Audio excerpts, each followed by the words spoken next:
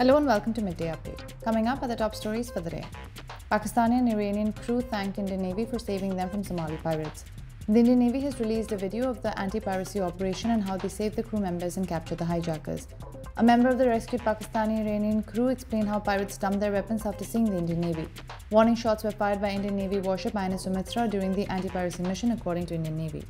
A ceasefire deal takes shape. Mahmoud Abbas lays groundwork for return to Gaza.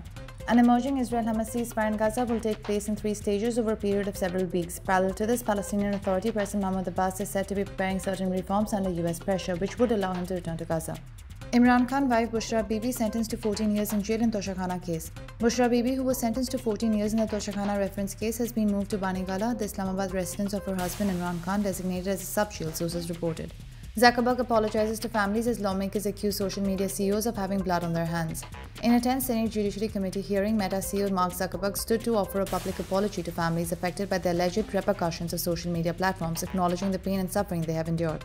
Isra Miraj holiday announced in Oman. Thursday, 8 February 2024 will be an official holiday for employees of units of the state's administrative apparatus and other legal entities, as well as establishments of the private sector on the occasion of the blessed anniversary of Al Isra wal Miraj and the Sultan of Oman. Those were the top stories for the day. For more updates, stay tuned and keep watching TTV.